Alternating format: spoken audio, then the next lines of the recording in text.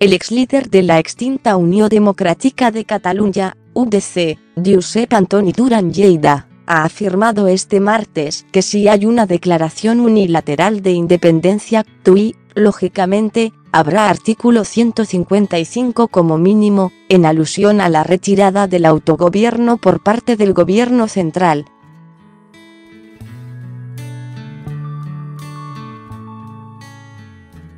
Sigue al minuto toda la información sobre la crisis catalana en declaraciones a Antena 3, Durán ha indicado que tiene la sensación de que va a declararse la independencia unilateralmente, aunque ha considerado que buscarán alguna fórmula que la remita a que su cumplimiento sea a plazos.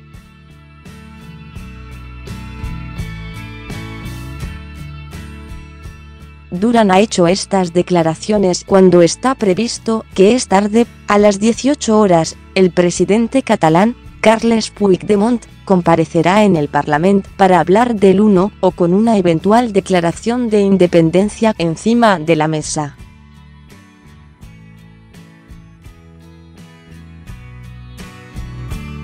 En este contexto, Duran también ha reconocido que no es partidario de esa mediación que Puigdemont está ofreciendo al gobierno, ya que no hay nadie dispuesto a situar al mismo nivel una región a un Estado.